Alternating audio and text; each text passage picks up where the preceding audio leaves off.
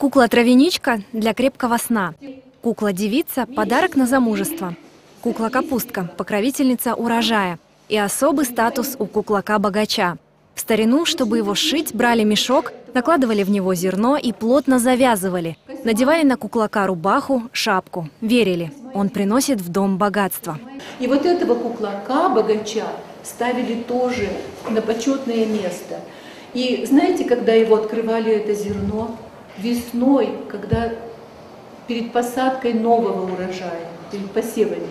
Оказывается, есть целое направление творчества, которое называется кук-арт. Об этом и многом другом рассказывала школьникам села Алтайское руководитель сельского кукольного театра. Научила мастерить тряпичные куклы и объяснила, какое значение каждая из них имела в старину.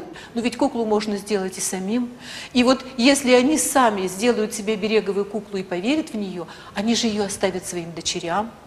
А дочь будет наученная мамой делать куклу, научит свою дочь.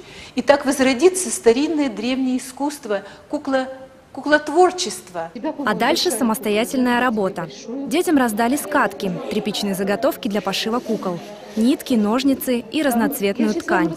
Так у каждого ученика появилась игрушка со значением. Она похожа на мою бабушку, мне кажется, потому что она такая добрая на лицо, э, такая, как мне кажется, что даже если нет лица, то она похожа на такую заботливую э, девушку.